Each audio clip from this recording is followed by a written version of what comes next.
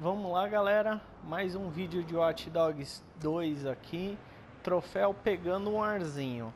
O que, que você tem que fazer nesse troféu? Você tem que viajar em cima de um carro, hackeando ele por 200 metros.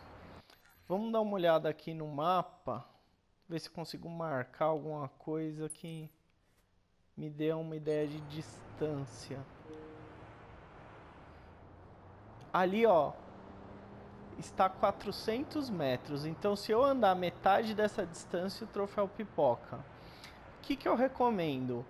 Como você pode ver ali do lado inferior direito, os meus bots estão 100%. Mas eu não vou precisar usar todos eles. Também não precisa ser uma picape, nada. Eu só aconselho ser uma rua é, que esteja bem reta para você não precisar ficar ajustando trajetória fazendo curva.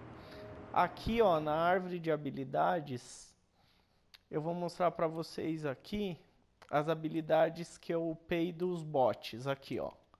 Então eu tô com tudo upado. Se você tiver pelo menos três ou quatro dessas aqui, já dá para fazer. E aí no hackeamento de veículo, você vai precisar ter essa aqui, ó, hack de direção de veículo, que é essa aqui. Essa outra aqui é ladrão de carro. Não, não tem a ver. É só essa primeira aqui.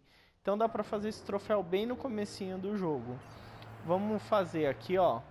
Ah, eu tenho que andar pelo menos até 239.